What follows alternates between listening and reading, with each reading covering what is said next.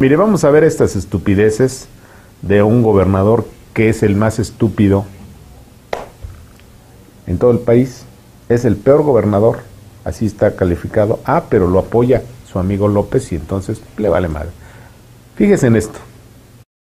civil, gobernador, Sí, ¿qué hubo un- tienen ahí? Y la sí. mujer que asesinaron ayer en Coatepec, empresaria, odontóloga. Así es, así es que bueno que están sobre esto, porque cuando estaba Winkler eh, sucedían cosas peores, lamentablemente.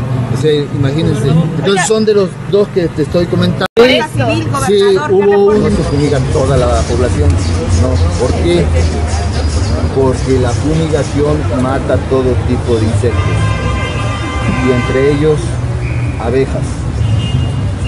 Si nosotros ah, hiciéramos esa eh, tarea, como ustedes pues, vamos a fumigar, pues, no es exactamente así.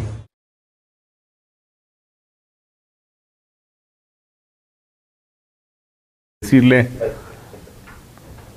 déjeme decirle que en el primer caso, eh, este imbécil gobernador le reclaman sobre una empresaria asesinada en Coatepec, allá en Veracruz, y dice, sí es muy grave, pero cuando estaba el otro procurador era peor. No le están preguntando quién era más, no, le están preguntando por la responsabilidad de él. Además el otro ya ni es procurador, o sea, fíjese nada más el nivel de estupidez, ¿no?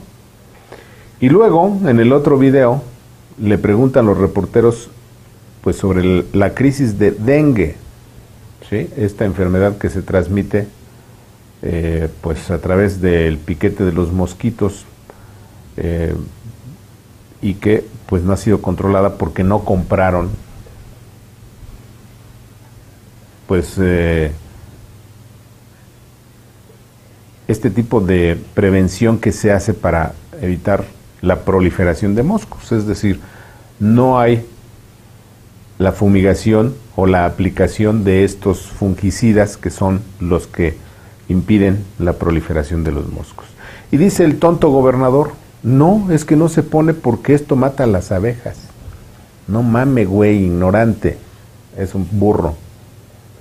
Por eso le pusimos este textito al final, en donde se explica, es un texto científico que se explica que, bueno, pues el eh, elemento activo del fungicida, de este que ponen en la fumigación, no afecta a las abejas, afecta solamente a una eh, un tipo de, de, de, de mosco, de insecto.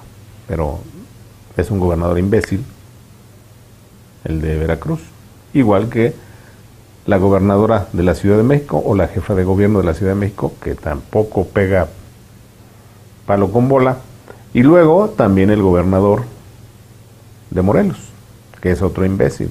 Son de Morena, ¿qué podemos esperar, no?